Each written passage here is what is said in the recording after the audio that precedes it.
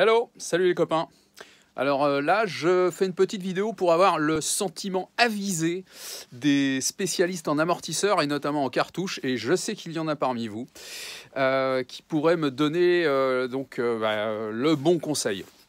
Donc en fait, je remplace les amortisseurs de ma, de ma chignole, de, de l'Electra de 77, qui sont un peu fatigués. là, vous voyez, là, je suis en train de faire un petite bidouille parce qu'en fait euh, j'avais euh, acquis d'occasion une paire d'amortisseurs donc qui était normalement neuf. Ouais, normalement hein, sur le bon coin euh, quand c'est neuf c'est déjà usé. Et donc voilà là je vous montre.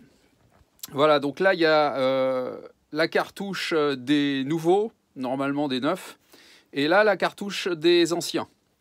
Alors en l'occurrence ici on a affaire à du Gabriel. Gabriel.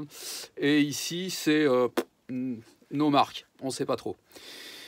Donc, euh, j'ai également euh, les ressorts. Là, vous voyez donc les nouveaux ressorts. Bon, ils présentent bien. Et là, les anciens ressorts, hein, ils présentent déjà beaucoup moins bien. Ils sont beaucoup plus moches. Voilà. mais l'intérêt pour moi étant d'avoir un aspect esthétique, on va dire vintage, mais l'intérieur que ça soit cohérent, que ça soit efficient.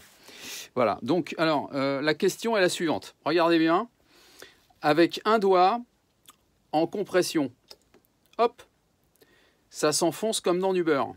Et ici sur les Gabriel, là par contre, voilà, et pareil, en détente, on a exactement la même force à appliquer.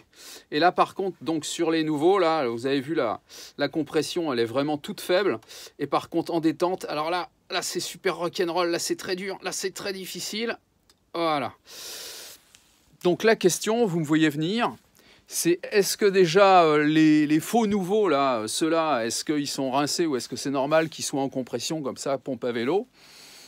Et euh, finalement, les Gabriel, Made in Canada d'ailleurs, Made in Canada, ouais, vous voyez, c'est marqué là. Alors, je ne sais pas si vous voyez bien, Made in Canada. Je ne sais pas de quand datent, mais euh, euh, est-ce qu'ils sont encore bons Parce qu'apparemment, ils font le job, quoi. Hein, ils font le job.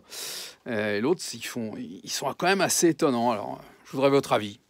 Merci. Vous pouvez y aller, les commentaires, là, c'est en dessous.